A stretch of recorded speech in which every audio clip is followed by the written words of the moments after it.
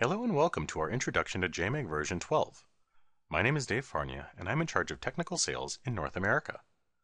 I want to thank everyone for attending and I'm excited to demonstrate some of the new features available in JMAG. We'll be touching on a number of different features today, so please feel free to contact your local PowerSys office if you have any questions on anything you see. Contact information will be available at the end of the presentation.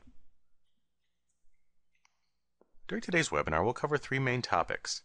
First, we'll go through the new features available in JMAG Designer.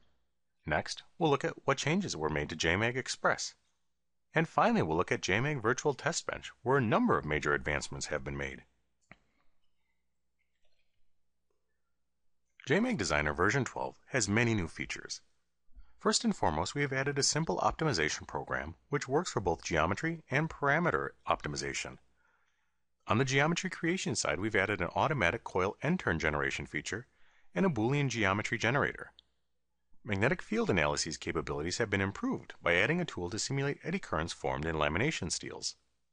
We've also added a feature to easily create harmonic input currents as well as a magnetostriction analyses tool. Piezoelectric analyses can also be performed when coupling to the structural analysis module. Once you have generated results, a number of new features will help you with post-processing. JMAG can now perform FFT analyses of distribution quantities, compare multiple results in a single display, perform statistical analyses on distribu distribution plots, and separate magnetic field and flux density based on the initial magnetization direction. The GPU processing algorithm has also been improved to help reduce analysis time. On the meshing side, JMAG version 12 has improved the slide mesh generator for non-uniform air gap geometries added a partial meshing tool, and made it easier to export nodal force calculation settings when performing a sectional analysis.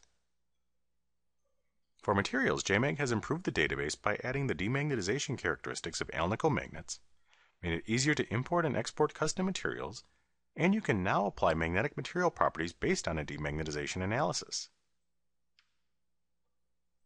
Setting your analysis conditions is also easier thanks to a volume calculation tool. You can also select single parts and apply an insulation condition in 2D models. When running a coupled analysis, JMAG version 12 has added a power source in addition to the standard voltage and current sources available in a circuit. You can also change the analysis frequency as a function of analysis time and use multiple frequencies in thermal heating problems. We also added a subcycling tool when coupling multiple analyses with dramatically different time constants. In JMAG RT, all the system models have been improved, and the RT viewer has also made many improvements. Finally, JMAG version 12 now has a multi-purpose file export tool that can export force or temperature data to third-party software programs. We'll be covering a lot of these features during the remainder of this presentation, but again, if any of these features is of important to, importance to you, please feel free to contact us. To begin today's presentation, let's look at the optimization tool. This feature functions much like the parametric analysis tool, except that you will need to specify an objective function and constraints. The first step is to select the parameters you want to optimize. Then you constrain the range of possible values for those parameters and set an objective function. Next, you run the analyses, and the results are then summarized in a graph that shows every test point. You can then click on any of these test points to open the actual JMAG model and perform further analysis. The optimization tool is a good way to quickly iterate on a design and see how those design changes have altered the results. The next new feature is the coil end modeling tool. JMAG Designer can now automatically generate coil end turns, which allows you to account for end winding leakage and inductance in your motor designs. Multiple patterns are available, as far as the coil type goes, we have concentric, spiral, and polygonal. For those cross sections of the windings, we have round or rectangular. Boolean geometry creation is also possible in JMAG. This allows you to add, subtract, or merge two components. In this example, a reactor core is subtracted from a rectangular solid body to form a body representing the surrounding space. This component is now an independent body that you can apply different material conditions, or analysis properties too. The Boolean feature would also be useful to resolve mesh conflictions due to geometry interferences or small gaps between components. JMAG Designer can now simulate the effects of eddy currents in lamination steels. Previously, you would have had to model each individual lamination and apply a resistivity to those components. This process is accurate, but requires a very large model with a very precise mesh. Now you can apply this condition to either a 3D solid body or 2D model in JMag and automatically calculate the eddy currents within the lamination. This works well for calculating losses, but the effects will also apply to parameters such as torque and flux. Effectively, this is a dynamic loss calculation tool that actually reflects those losses on the parameters that you are measuring. In JMag, it is now easier to generate harmonic currents with the harmonic current construction tool. In the dialog, you list the harmonic frequencies and amplitudes, and JMag will create the harmonic current. In this example, you can see the effects of a harmonic current on the iron losses.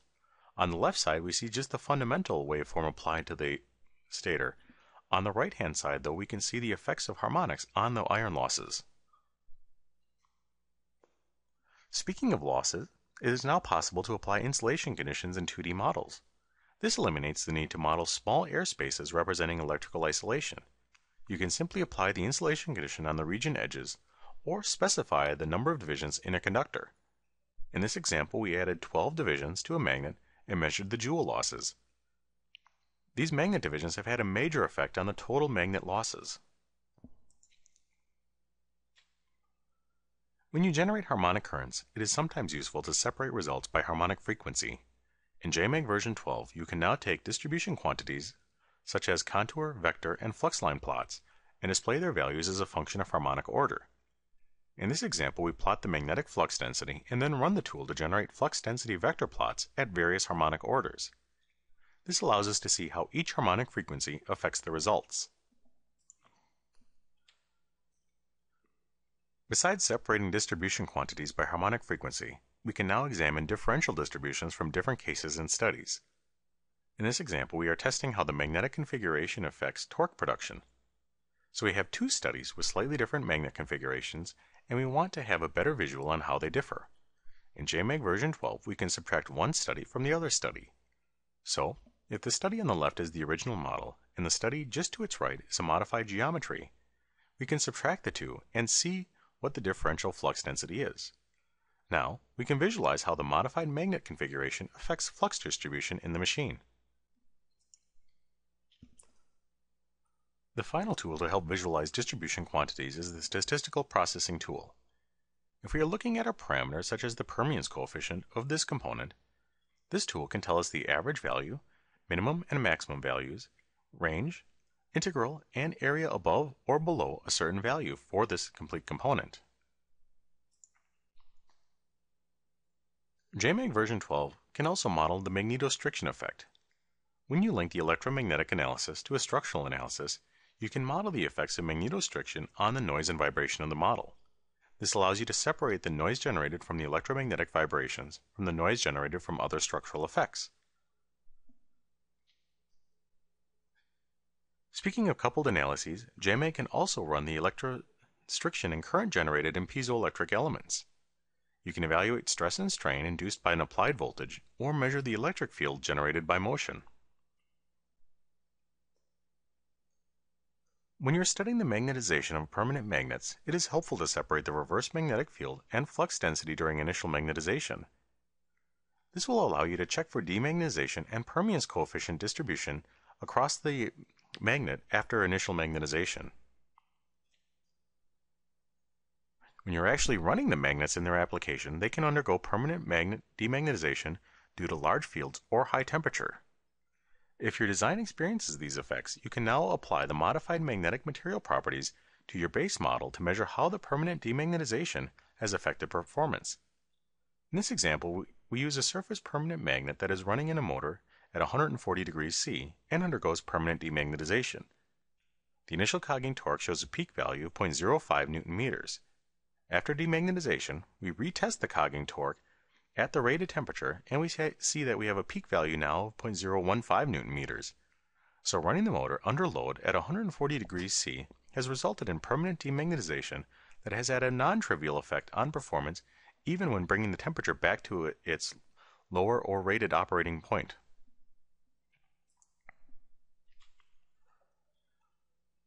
As far as meshing goes, JMAG version 12 has made a major improvement in the capabilities of the slide mesh generator.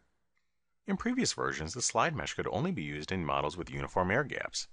In version 12, the slide mesh has substantially more flexibility to work in axial gap motors or in radial gap motors with components in the air gap. Using the slide mesh for these models will increase the analysis speed and improve the overall accuracy.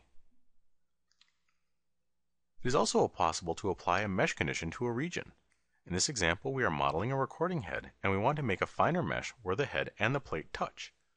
Previously, we would have had to have set the mesh condition on each of the components, which would have led to a fine mesh across the entire component. Now, we can use a free-form selection tool to select the region of interest and set a finer mesh only in that area, thus reducing the total number of elements we will need, but increasing the accuracy as well at the same time. Another improvement to the mesh functionality is that the nodal force condition can be incorporated into in a sectional analysis. This is this automatically creates an airspace region in the outer circumference of regions for a more accurate nodal force calculation using FEM plus BEM calculations. In previous analyses, we were not able to do this, and thus the accuracy of the analysis would not be as high. But now, with this feature, we can actually run models such as this actuator and get very accurate results. Some of JMAG's circuit features have also been improved. One new feature is the addition of a power source block. Now, you can set the input power of a device instead of setting either the voltage or current input in a frequency response analysis. Another new frequency setting feature is the ability to change input frequencies with time. This allows you to set different frequencies as a function of time in a coupled analysis. In this example, we are examining the thermal response of an induction heating problem. If we use a single frequency, we get a thermal response shown on the left. If, however, we can vary the frequency with time, we will find a much different thermal response that is shown on the right. It is now possible to use subcycling in coupled problems with dramatically different time constants. To use this tool, you select either the magnetic or thermal analysis as the time standard for the coupled analysis. Then set the slave study. This means that you can conduct multiple steps in one analysis domain for each single step in the other domain. Speaking of multiple frequency induction heating problems, it is now possible to drive a thermal model with multiple frequencies. This allows you to separate losses from different frequencies and obtain a clearer picture of how each frequency expects, affects the thermal response. When running a coupled analysis, it is now possible to use JMAG's multi-export tool to transfer electromagnetic forces or temperature distributions to third-party software packages. The tool will export results in Nastran format that can be run as they are or mapped onto meshes created outside of JMAG where the analysis can be the, then run there. This will be a very powerful tool to help open the keep open keep with consistent with JMAG's open platform principles. That finishes our discussion about the new features in JMAG Designer. Now we can move to some of the new features in JMAG Express. JMAG Express has added many new features and improved on many of the existing features. There are model updates for nearly each, every machine type. You can combine parts from different templates. The optimization function we mentioned earlier has also been added to JMAG Express. We now have a characteristic and result database to allow for better record keeping and we improved the connection to JMAG Designer and its circuit simulator. In JMAG Express, we have updated the permanent magnet synchronous machine, induction machine, and switch reluctance machine templates. You can also now choose a rotor and stator geometry independently. This will give you more freedom when creating your motor geometry. As with JMAG Designer, we have now added an optimization feature in JMAG Express. When working with the sizing function and sensitivity analysis tool, you can now quickly iterate on a design to determine the best settings. Since these tools run in Express, the results are still generated within seconds. Once you have finished the concept design in Express, you can then move the model to JMAG Designer to perform a more in-depth analysis. In JMAG Express, you can still generate results quickly, but previously it was difficult to perfect to track previous designs. Now, JMAG Express adds a database to store results. This makes it much easier to go back and view previous designs. As far as individual templates, many improvements have been made. For example, in the permanent magnet synchronous machine template, we added a magnet eddy current analysis, harmonic iron loss modeling, and torque component separation. In the induction machine template, you can now analyze drive characteristics, line start response, and torque characteristics. In switched reluctance machines, you can now analyze inductance in the aligned and unaligned positions, as well as drive and torque characteristics. Along with improving JMAG Express, we also made some significant improvements to JMAG Virtual Test Bench. We added numerous design scenarios that can be applied to your models. These scenarios will be automatically generated and will provide a report displaying the desired results. The database feature allows you to manage these results and search previous models. Perhaps most importantly, we made major improvements to the GUI. This makes JMAG Virtual Test Bench much, much easier to use and easier to understand. Beyond the predefined scenarios, you can also add or edit your own existing scenario. You can even create basic commands from JMAG's designer's script recording functions and apply those to scenarios as well. The end result is a very flexible tool that can be configured to meet your exact needs. There are now more than 70 preset design scenarios available. These scenarios parallel the examples from the Application Notes section of the JMAG International website.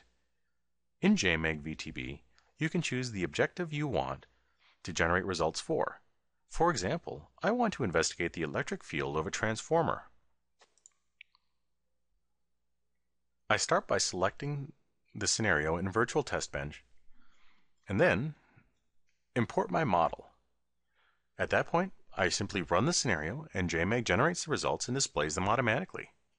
I can then view the results and store them in the database. When you find a scenario that suits your needs, you can choose to run only a portion of the scenario. This allows you to iterate on a specific parameter without running the complete scenario.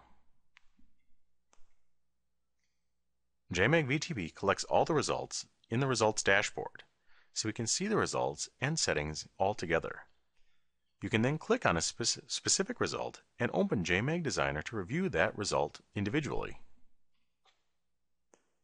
The database records all the results and makes it very easy to manage and search. You can also reuse past analyses on your new models.